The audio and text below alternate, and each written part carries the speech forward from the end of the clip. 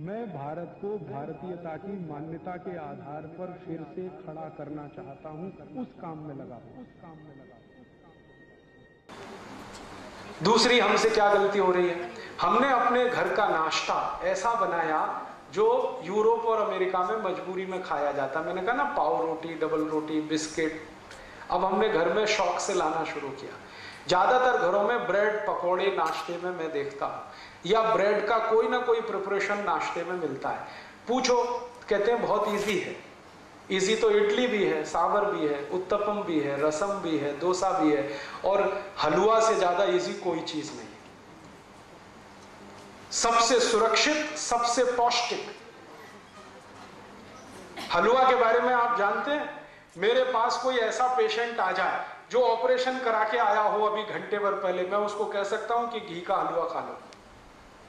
इतना सुरक्षित है। उस पेशेंट को रोटी नहीं खिलाई जा सकती, दाल नहीं खिलाई जा सकती, चावल नहीं खिलाया जा सकता, कम से कम पंद्रह दिन। लेकिन मैं उसको यह ज़रूर कह देता हूँ कि ऑपरेशन खत्म होते ही, जैसे ही होश आए, हलवा बना के खिला देना देशी गाय के घी का, क्योंकि वो हीलिंग में बहुत मदद करता है। तो हलवा से ज़्यादा तो कोई भी हमारे पास डिश नहीं है जो पाँच मिनट में बन सके, लेकिन वो हलवा गायब हो रहा है धीरे धीरे पाव रोटी आ गई डबल रोटी आ गई, बिस्किट आ गया, घर में नूडल्स आ गए, और सवेरे के नाश्ते में ये ज़रूर है। और आयुर्वेद कहता है कि सवेरे का नाश्ता ही सबसे ज़्यादा मज़बूत होना चाहिए। उसी में भरपेट हम पाव रोटी डबल रोटी खिला रहे कभी कभी बच्चों का बहाना बना देते हैं, जी, खाते नहीं वो। आपने खिलाने की आदत नहीं डाली तो वो खाएँगे क्यों? यहाँ से ही हमारी ज़िंदगी की गड़बड़ी शुरू हो रही। और ये सड़े मैदे की पाव रोटी, डबल रोटी आप जितनी खाएँगे, कब्जियत उतनी ही बढ़ेगी। कब्जियत बढ़ेगी तो शरीर की बीमारियाँ बढ़ने वाली हैं। 103 बीमारियाँ होती हैं, ये ध्यान रखिए। आज मेरे पास सुविधा नहीं है। अगर एलसीडी प्रोजेक्टर होता तो मैं आपको यहाँ दिखाता। एलसीडी है? एलसीडी प्रोजेक्टर हो तो मैं आपको दिखाता कि जब आप ये खाते हैं ना, मैंने इसमें बहुत सुंदर स्लाइड्स बनाई हुई। कि जैसे ही पाव रोटी खाते हैं तो अंदर क्या होता है पेट में जाने डबल रोटी खाने के बाद क्या होता है? बिस्किट खाने के बाद क्या होता है?